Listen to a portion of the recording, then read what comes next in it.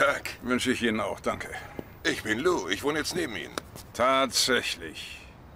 Entschuldigen Sie mich.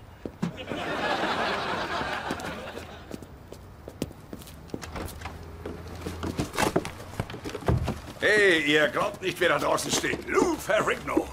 Lou Ferrigno? Erzählt kein Quatsch. Ich sage euch, er ist es. Der unglaubliche Hulk. Er ist gerade nebenan eingezogen. Ist ja verrückt.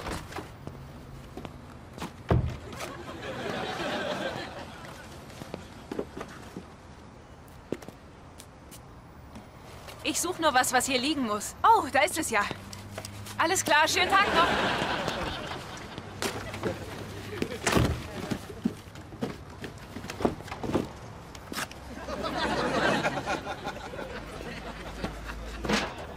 Hi. Hi. Oh, sieht ja ganz ordentlich aus hier drin. Straßenreinigung.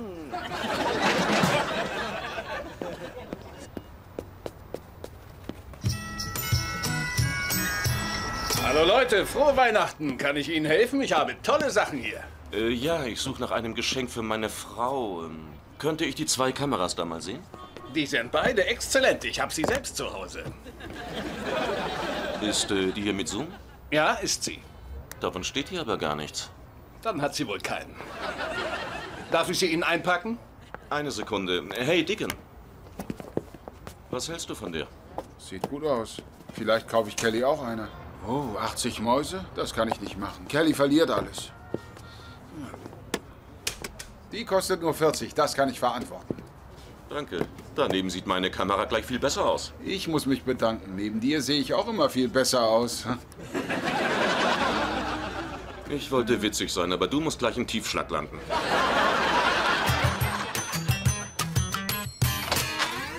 Hi, Arthur. Douglas, sag mir, ob das hier albern klingt. Sehr geehrter Mr. Ferrigno, ich fand Ihre Arbeit in der Unglaubliche Hulk mit einem Wort unglaublich. Wieso schreibst du einen Brief an ihn? Den will ich meinem Drehbuch beilegen. Ich glaube, Lou Ferrigno ist genau der Richtige, der dafür sorgen kann, dass es produziert Oh, wird. Arthur, nicht wieder die Drehbuchgeschichte. Gib es ihm bitte nicht. Tu es nicht. Wieso denn nicht? Er ist unser Nachbar, der glaubt, wir wären Freaks. Oh, dann hat mich Mr. Gary Sinise wohl auch als Freak betrachtet, als ich es ihm gegeben habe. Du hast es ihm in der U-Bahn aufgedrängt. Und ja, Hör mal, wenn erst bekannt geworden ist, dass Lou Ferrigno hier wohnt, liegen schnell 50 Drehbücher auf seiner Türschwelle. Ich werde dafür sorgen, dass ganz oben auf dem Stapel überlegt dir die Sache mit Sandy liegt. schon der Titel macht keinen Sinn. Ich hab's gelesen. Eines Handy gibt es da drin gar nicht. Du hast offensichtlich keine Ahnung, wie unsere Branche funktioniert. Hi. Hi, Schatz. Sag mal, wieso empfängst du mich nie an der Tür? Nackt, wie andere Ehefrauen. Welche Ehefrauen meinst du? Die aus den Zeitschriften. Ich werde drauf zurückkommen. So, ich bin fast fertig mit meinen Einkäufen. Mir fehlt nur noch was für Kelly. Sie verliert alles. Ein Schirm wäre gut. Nein, es soll etwas Hübsches sein. Letztes Jahr hat sie uns Kristallleuchter geschenkt und wir ihr Toilettenpapier, das aussah wie Geld. Thema Geschenke. Für das, was du von mir bekommst, wirst du vor mir niederknien. Ehrlich? Was ist es? Nein, das verrate ich nicht. Sag schon. Es ist eine Überraschung, aber so viel sag ich dir. Es ist wunder, wunderschön. Los, gib mir einen Tipp. Ähm, okay. Es ist ungefähr so groß. Eine Kamera?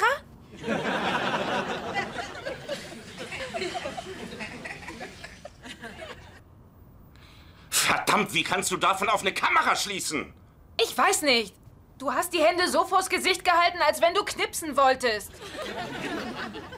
Du kannst es einfach nicht gut sein lassen. Nein, du wolltest einen Tipp. Konnte ich wissen, was du für eine Handbewegung machen würdest? Und was nun? Soll ich sie dir gleich geben oder willst du bis Weihnachten warten? Naja, wenn du sie mir jetzt gibst, kann ich schon Fotos vor den Weihnachtstagen machen. Ich kann sie zur Weihnachtsparty ins Büro mitnehmen. Naja. Und ich könnte dich fotografieren bei deinem traditionellen Weihnachtsmann steckt im Kamin-Sketch. Der sollte unbedingt mal aufgenommen werden. Warte, ich hol sie. Sieht aus, als wären es doch mehr Passagiere. Ja, drück uns die Daumen. Vielleicht haben wir ja Glück. Du machst den Fernseher an, während ich dir ein Oh, Geschenk mir leid, geben will? entschuldige, ja. Tja, also dann, frohe Weihnachten, Liebling. Und bitte vergiss nicht, wenn wir bis Weihnachten gewartet hätten, wäre da eine Schleife drum und kein Plastikbeutel. Die ist ganz große Klasse. Magst du sie? Ja, die gefällt mir. Wusste ich's doch. Sie hat eine Schlaufe fürs Handgelenk und man kann sie am Gürtel einhaken. Und äh, Batterien habe ich schon reingemacht, aber das ist weniger wichtig. Das ist eine super tolle Kamera. Das hast du gut ausgesucht. Danke. Wenn ich's errate, kriege ich mein Geschenk auch? Okay. Einen Schlitten.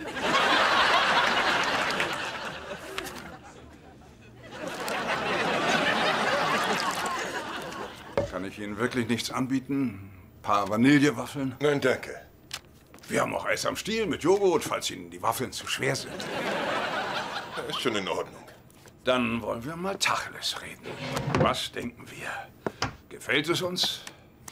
Wissen Sie, Arthur, ich habe Ihr Buch also gelesen und, ähm, um ehrlich zu sein, bin ich, bin ich etwas verwirrt. Verwirrt. Inwiefern? Zunächst einmal tauchen drei Figuren namens Mike auf. Kann ich Ihnen mal eine Frage stellen, Lou? Haben Sie schon mal jemand anderen getroffen namens Lou? Ja, schon. Das ist das Leben, mein Freund. Und ich schreibe so, wie ich es sehe. So, wie geht es jetzt weiter? Können Sie Steven Spielberg für mich anrufen? Ich denke, das wird nichts.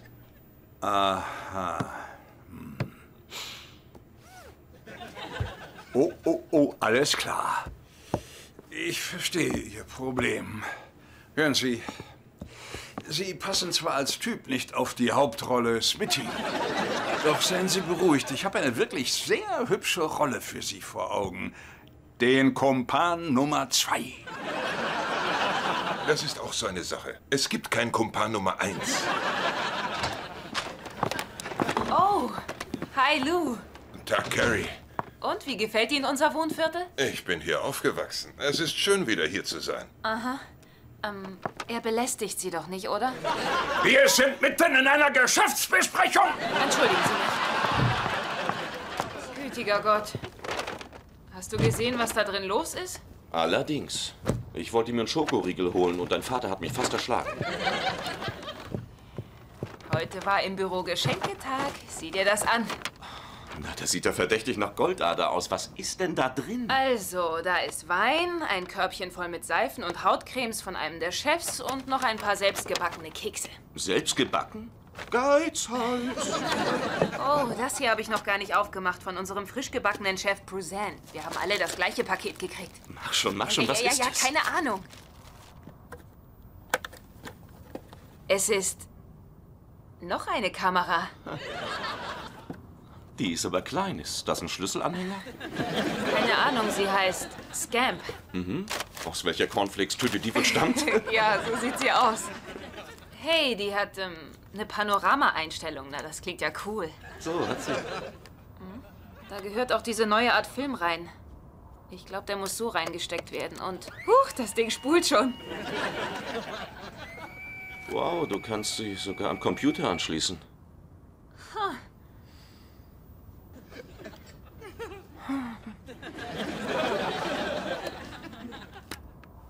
Aber die ich von dir habe, ist total, ähm, also ehrlich. Total was. Naja, weißt du, deine hat dieses. dieses Schlaufending. Weißt du, was das ist? Eine viel bessere Kamera. Nein, komm schon, was heißt besser? Was ist daran besser? Sie macht Fotos genauso wie die andere. Damit sehen die Leute auch nicht besser aus. Hier steht, die Scam kann dich wie einen Engel leuchten lassen. Sei nicht albern. Ich bin verrückt nach deiner Kamera und nehme deine Kamera morgen Abend mit zur Weihnachtsfeier ins Büro. Klar? Klar? Na, schön ist gut. ja. Okay. Schatz, Lous Konzentration lässt nach. Könntest du ihm vielleicht ein Omelett mit zwölf Eiern machen?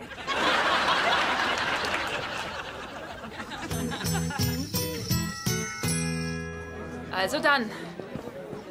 Dann wollen wir uns mal amüsieren mit den Leuten, die ich 51 Stunden pro Woche sehe. Ich danke Ihnen von ganzem Herzen für die Scamp. Ich finde sie fantastisch. Sie ist so cool. Aber die war doch viel zu teuer. Eine tolle kleine Kamera für eine tolle kleine Arbeiterin. Okay, dann wollen wir mal. Und Ja, jetzt schießen Prost. wir ein paar schöne Fotos mit deiner tollen Kamera, ha? Gut, ja. Schön, da haben wir sie schon. Und jetzt brauchen wir nur noch einen Film. Danke. So, und rein damit. Ein Kinderspiel. Ja. Au, schön Gruß von meinem Ex-Fingernagel. Okay, leg Du musst drehen, damit sie rein. den Film fassen kann. Na, siehst du, Okay? schon geschehen. Alles klar. Das war doch simpel. Sehr gut. Hi, Carrie. Oh, hi Amy. Ihr kennt euch noch? Ja, klar. Hallo, Amy. Gerade habe ich einen Film eingelegt. Ich mache ein Foto von euch beiden, ja? Das Vergnügen. So? Gut. Und lächeln. Äh, Sekunde, wo ist denn hier der Blitz verflixt? Nimm doch deine Scamp. Die ist total einfach zu bedienen. Nein, die habe ich von Doug. Die nehme ich viel lieber. Die ist wirklich toll. Ach, ja. ist schon gut, wie auch immer. So, gleich. Ich schätze, sie, sie, sie, sie muss erst aufladen.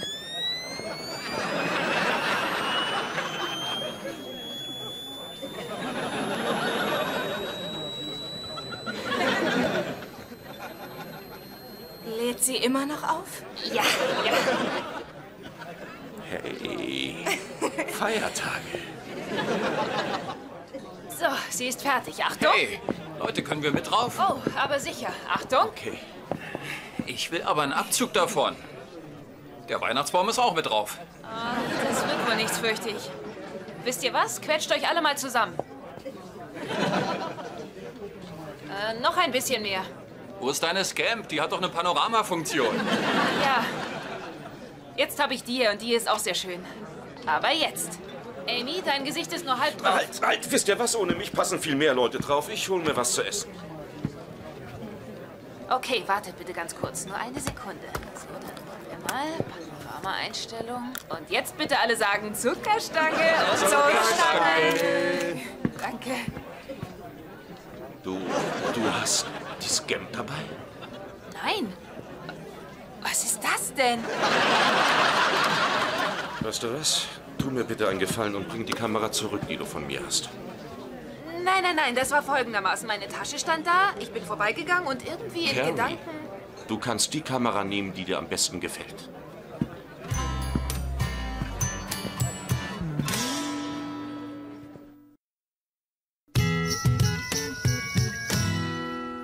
Also, ich habe keine Ahnung, was das ist. Wie spannend. Dann wollen wir mal sehen. Oh, ein Tightleys Dreierholz. Dankeschön. Gern geschehen. Das ist stark. Douglas, lächel mal und halt das Ding hoch. Ah, diese Kamera ist wirklich ein Vergnügen. Wie schön. Schatz, bist du wirklich im Reinen mit der Kamerasache? Na ja, ich war neulich ein bisschen zickig, aber tja, warum sollst du nicht die bessere behalten? Was mir die Chance gab, dir etwas viel Schöneres zu kaufen. Oh, das ist wahrscheinlich Lou. Ich habe ihn hergebeten. Ihr zwei, bleibt da sitzen, schaut zu und lernt.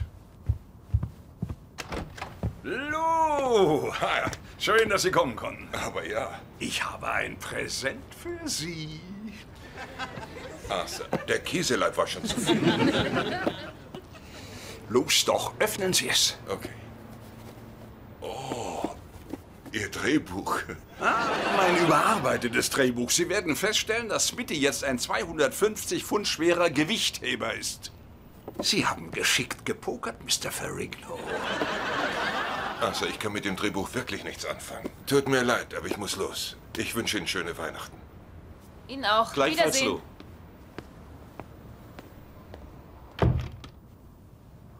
Das Spiel geht weiter. Komm schon, bis her und pack aus. Ja, ja, ja, ja, ja.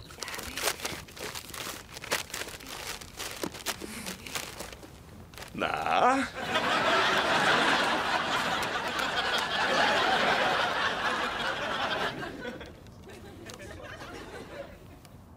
Wow.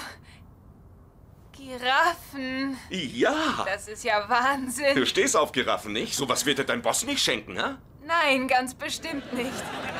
Gefällt sie dir? Ja, sie gefällt mir. Dann zieh sie an.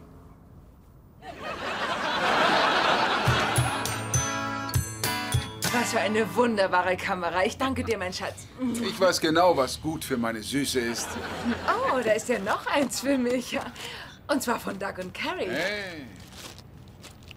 Ah, es ist noch eine Kamera. Was? Und was für eine hübsche, verpackt im Karton. Deine war in Plastik. Das ist dieselbe Kamera, die Doug Carey gekauft hat. Sie gefällt ihr wohl nicht.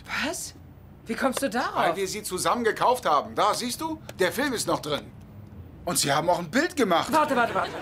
Du warst mit Doug im Laden, siehst, wie er eine bessere Kamera für Carrie holt und bringst mir die mit? Du verlierst immer alles.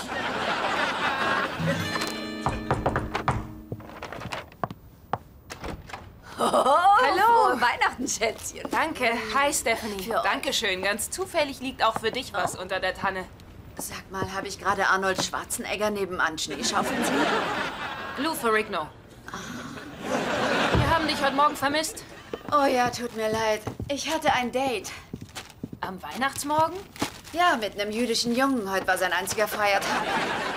Egal, ich bin nicht jüdisch, deswegen mag er mich auch nicht. Und hast du schöne Geschenke bekommen? Ja, äh, das hier habe ich von Doug. Oh mein Gott, sind das etwa Giraffen? Sechs Stück. Das Ding ist wie ein Autounfall. Es ist schwer hinzugucken, aber weggucken kann man auch nicht. Das ist aber noch nicht alles. Oh, eine große. Ich, ich kann nicht glauben, dass er dir das geschenkt hat. Ist, ist er wegen irgendwas wütend auf dich?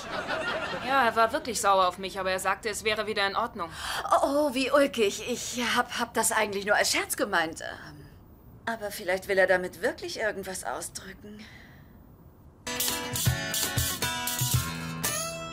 Und wann wollten äh, Deacon und Kelly kommen? Oh, Sie müssten jede Sekunde hier sein. Ich muss mich beeilen. Was gibt es zu essen? Eine schöne fette Gans? Nein, Hühnchen. Wie schade, ich habe Appetit auf Gans. Und danach auf Karamellcreme. Wieso trägst du nicht deine Giraffenjacke? Ähm, eigentlich wollte ich das hier tragen, weil... ähm, Komm, Baby, hier, zieh die Giraffenjacke an. Die ist doch süß. Sie würde auch toll zu der Hose passen. Schwarz passt zu allem. Schatz, bist du sicher, dass du nicht mehr irgendwie sauer bist wegen der Kamerasache?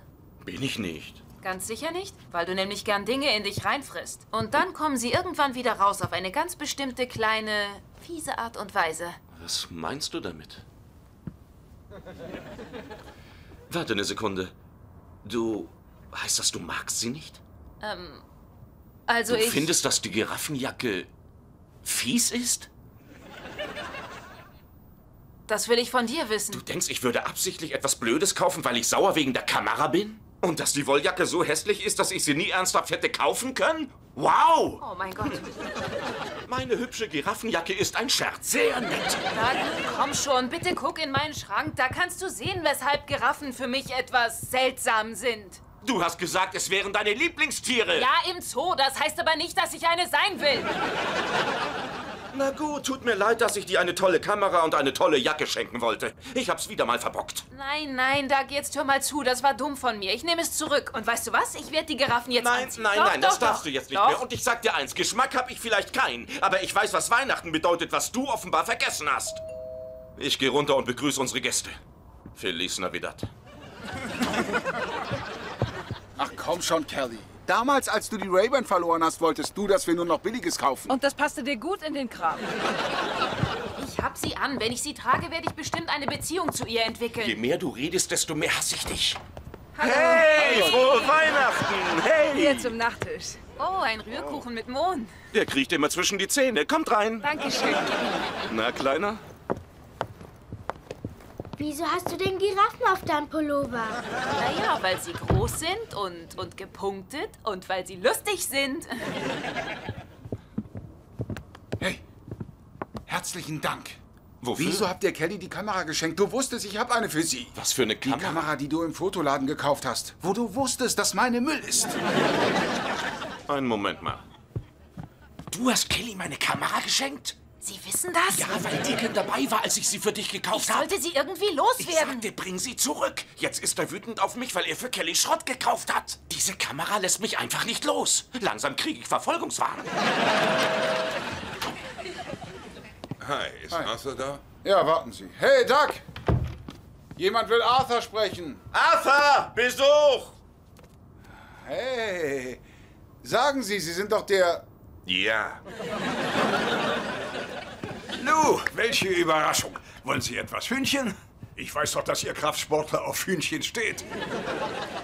Wie ist Ihr Drehbuch in mein Badezimmer gekommen? Ziemlich clever, hä? Wenn Sie wie ich sind, lesen Sie auch das meiste auf der Toilette. Dann sind Sie also bei mir eingebrochen. Und gefällt Ihnen mein Einfallsreichtum?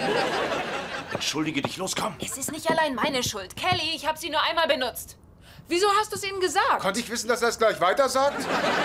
Also, Lou, was sagen Sie? Jetzt hören Sie mal genau zu, Arthur. Ich bin gerade eingezogen. Ich habe noch nicht mal ausgepackt. Kommen Sie, wir lesen jetzt eine Szene. Da wird es gleich lebendiger. Hören Sie bitte damit auf! Leute, es tut mir leid. Wir haben Weihnachten. Nur darf man doch nicht streiten. Geben Sie mir schon Ihr Buch, Arthur. Und schöne Feiertage. Frohes Fest miteinander.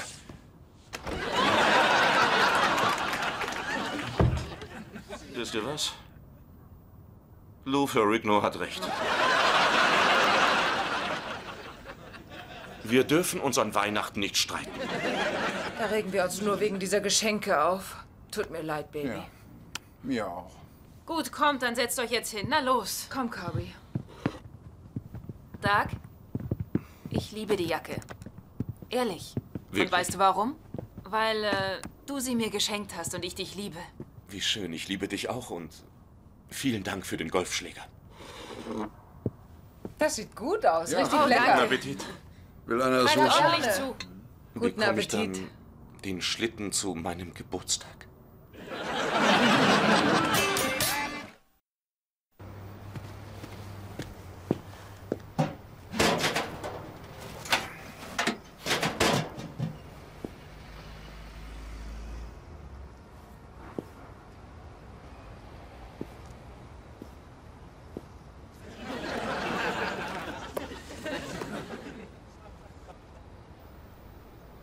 Bist du ganz oben, Superman. Aber wir sehen uns auf deinem Weg nach unten wieder.